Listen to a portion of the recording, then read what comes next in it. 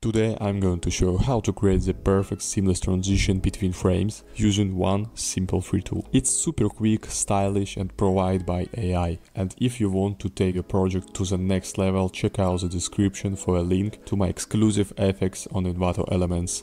Let's get started. First, we need to prep the frames for the transition.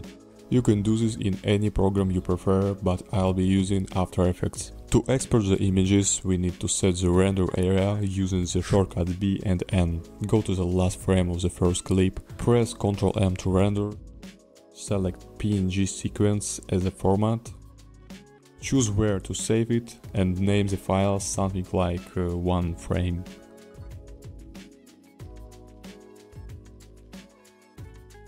Then move to the first frame of the second clip and repeat the process.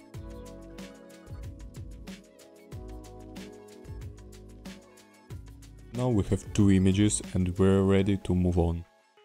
For the generation part we'll be using Runway Gen 3. I also tried Luma Labs, but honestly I couldn't get anything generated there because of the constant waiting times.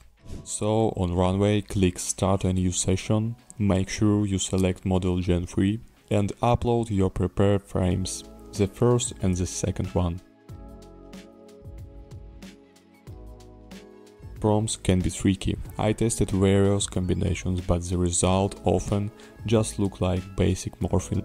The most effective prompt for me was simply seamless transition between frames, dynamic motion. Try your own ideas and let me know in the comments if you come up with something cooler, I'd love to test it. Select a duration of 5 seconds for better stability and hit generate. You get 5 free generating per account.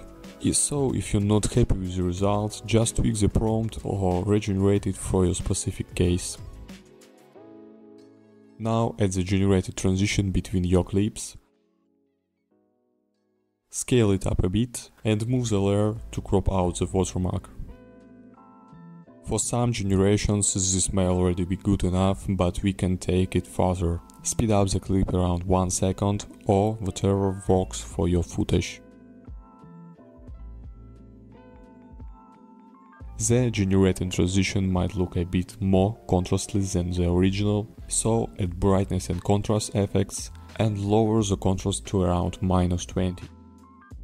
Next add CC cross blur effect, set X radius to 18 and Y radius to 5. This creates a dreamy effect and most importantly helps hide minor imperfections in the AI generation. Experiment with the transfer modes, I personally prefer lighten. It's already looking great, but let's add grain effect. Set the viewing mode to final output and pick a preset you like. But that's it's not all. To make the transition perfectly smooth, add a bit of dynamic movements. I am using the Shake FX pack available on Envato Elements, link in the description. Just import the project and select the Shake presets. I think medium heat works great here. Apply the effects, duplicate it and you're done.